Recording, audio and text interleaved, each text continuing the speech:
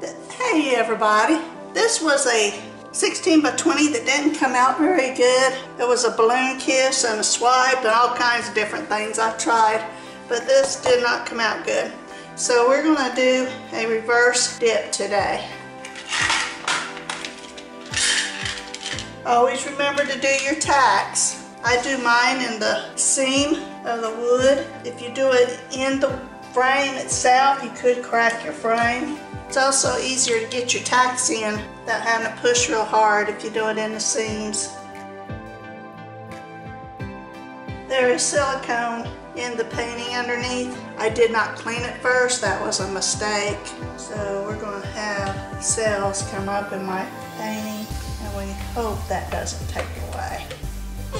But it might. I'm going to use a cup water bottle for my flowers.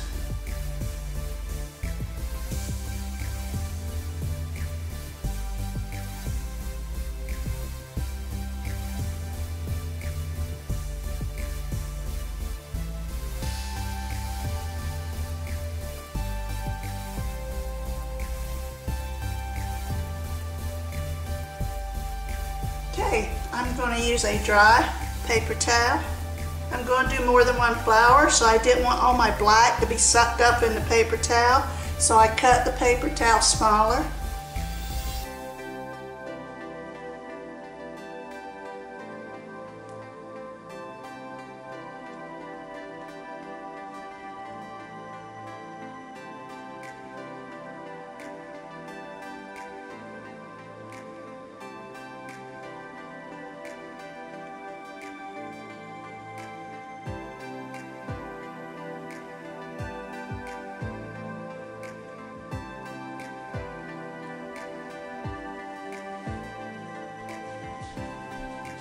I put silicone in the blue to see what it would do.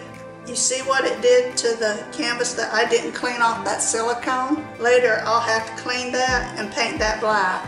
I'm using a toothpick for my center. I don't like the silicone, it distorts the flower. I'll use regular blue next time.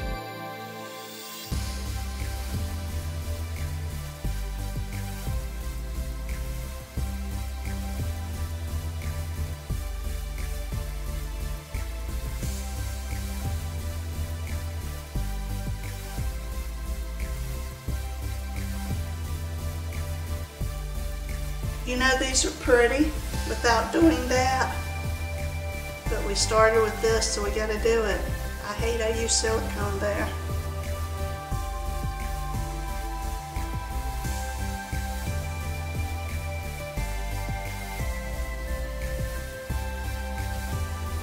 With silicone, it's not bad, but it looks more like a flower without the silicone.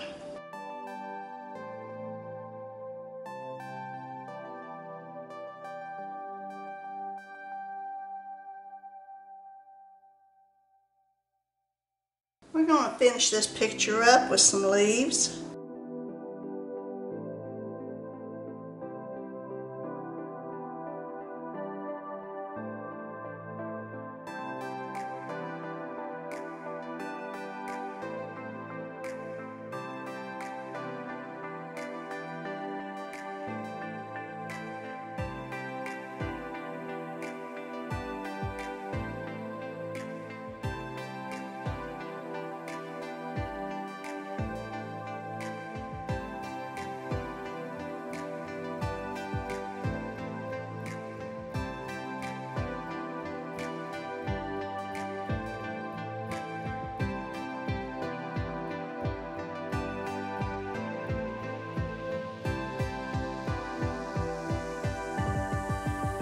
I use black on the outside of my line to where it blows out easier.